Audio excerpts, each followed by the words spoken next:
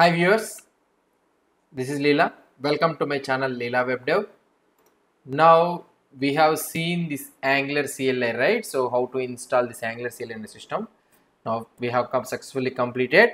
Now let's try to create a new app using this Angular CLI. App means that Angular application. Let's try to see this one. So before knowing, before uh, creating a new application, let's try to learn some of the commands. What are the commands available in this Angular CLI for creating an application?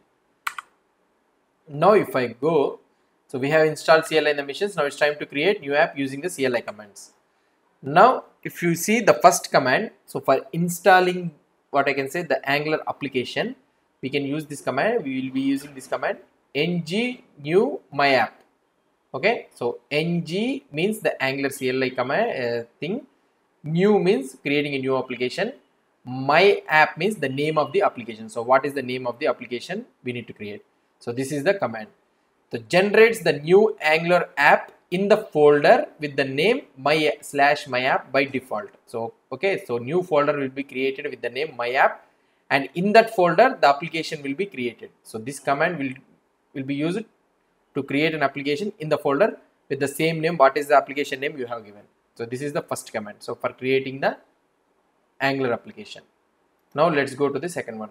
Another command is you can also use ng new my hyphen app hyphen hyphen dry hyphen run so I, I have kept your single so but it should be double hyphen so hyphen hyphen dry hyphen run so this what is this command so what is this option will do so ng new up to my app we have seen. So what is what are the what are the meaning of these three things we have seen. What is this fourth option hyphen hyphen dry hyphen run.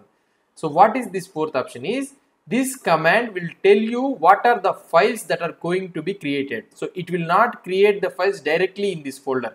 So it will show you that what are the files that are going to be created in the folder without creating them it will just report to you that these are the files that are going to be uh, created so if you are okay with those files and now everything is okay means you can remove the dry run uh, dry run option and you can run it. So if you are confident that okay fine. So what are the files that are going to be created with the configuration everything is fine for, me means then you can run without dry run. So dry run will give you what are the files that are going to be created without actually creating the project.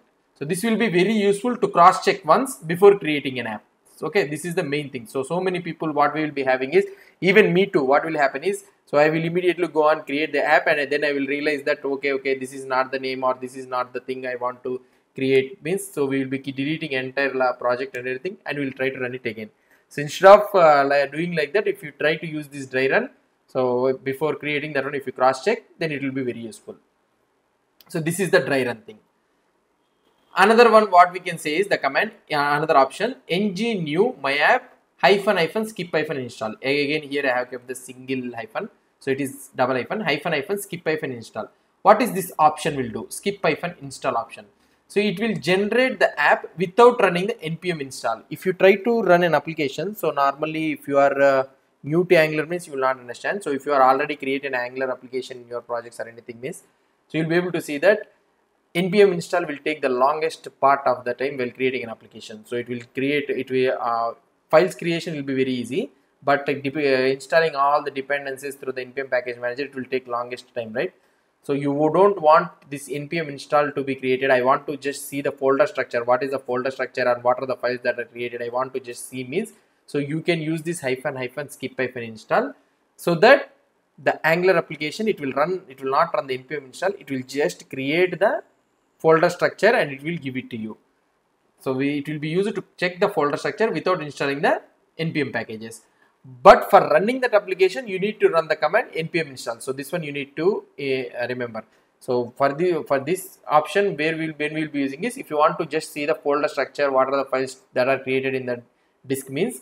So you can use this command without installing the npm packages. But if you want to run that same project means then you need to run this npm install and then you need to run this ng server ng build like that okay so that is the main thing so that is the thing about the skip install obviously if you use the use the dry run command. So now uh, another thing i forgot to tell you is if you use this dry run command so we have we have previously used this hyphen hyphen dry hyphen run right? So for that command also this npm install will not run. So just it will show you it will report you what are the files that are going to be created without running the npm uh, install. So it will show you the files what are going to be created. So the so that is the thing you need to uh, remember this one. Hyphen hyphen dry hyphen run command will not install the npm packages and the skip hyphen install also will not run the npm packages. But the difference between these two commands is a where a skip hyphen install whereas skip hyphen install creates a folder structure in your machine whereas this dry run just report you what are the files that are going to be created without cre actually creating in the disk. Now so another command is ng new myapp hyphen hyphen defaults. So this is also one of the thing hyphen hyphen defaults means normally when you type without the when you when you uh, type the command without without this option hyphen hyphen defaults. Just if you type the command ng new myapp means.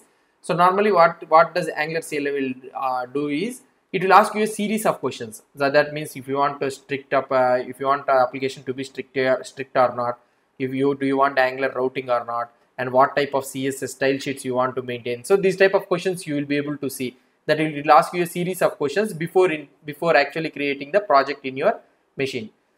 If you want to take all those things if you don't want those questions to be asked means so you can keep the option or flag hyphen hyphen default so that all the default options the default settings will be taken and it will be installing without asking you any question.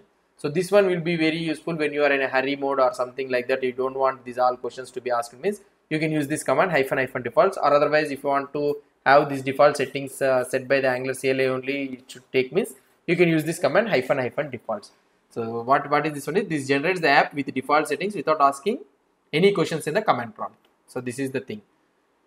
So if you have any doubts or any anything so these are the main things we will be using. So there are also a lot of options is there in the ng new but these are the main things which we will be using normally while creating an application so if you have any doubts or anything in the ng new command means we can already type the way we can use this command ng new and you can use hyphen hyphen help so that it will give you all the available commands that are available in the uh, options available in the angular CLI if you want to know means all the options also you can go to this angular website and here you can you will be able to see all the options that are available. Name is nothing but the name of the application. So with the same name the folder also will be created and here you will be able to see all the options that are available. So hyphen hyphen defaults we have seen. Directory means in which directory we need to create. So we have seen that the name of the application only the folder will be created right? So if you want to another folder to be created but the name of the application should uh, is to be my app only means then you can use this hyphen hyphen directory. Hyphen hyphen dry hyphen run we have seen. Force means force installing overriding everything. Hyphen hyphen help so that one. Inline style inline template these all things we will try to see interactive these all things we'll try to see so these are the things actually. So let's try to see ng new ng new hyphen hyphen help whether we will be able to see these options or not. So if you type if you type ng new hyphen hyphen help let's try to see these commands.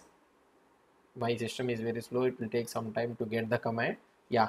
So see here if you try to see here we are able to get the same options that we have seen in the documentation right so what are the document in what are the things we have seen?